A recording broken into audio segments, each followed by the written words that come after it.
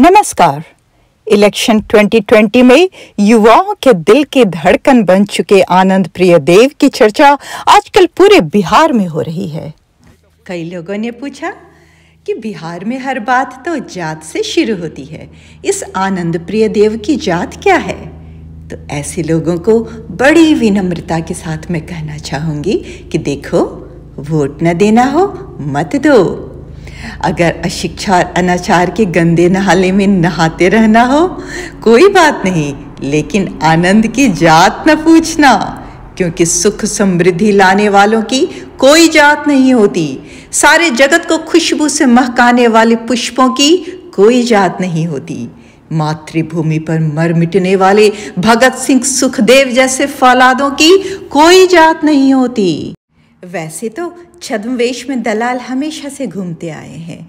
चंद सिक्कों के लोग में समाज को जाति और धर्म में बांटते आए हैं। लेकिन सावधान रहना प्रजातंत्र के मालिकों इस 2020 इलेक्शन में। अगर कोई भी व्यक्ति आपको जाति और धर्म की दुहाई देकर बरगलाने आए तो समझ लेना कि वो दीमक आपकी और आपके बच्चों की किस्मत चाटने आया है। जैसे कि जब आपका बच्चा बीमार पड़ता है तो उसे मौत के मुँह से निकालने वाले डॉक्टर की आप जात नहीं पूछते।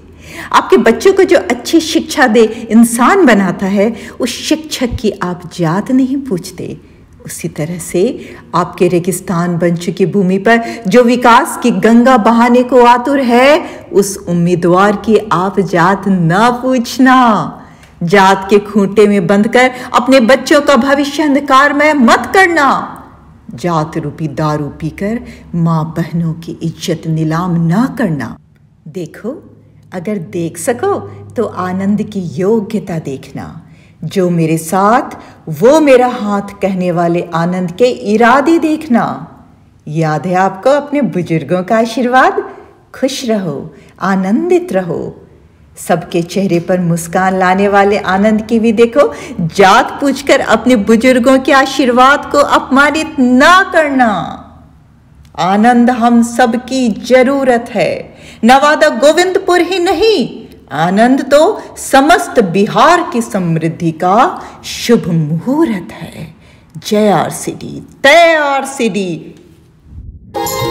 सुना ये भैया टॉर्च छप बटना दबई हो बटना दबैया चाचा बटना दबैया आनंद भैया के हो चाचा विधायक बनई हो विधायक बनाइया ओ विधायक बनाइया सुना ये भैया टॉर्च छप बटना दबई हो आनंद भैया के हो चाचा विधायक बनई हो। विरोधियन के पोखरिया हो। अब की आनंद भैया के बढ़िया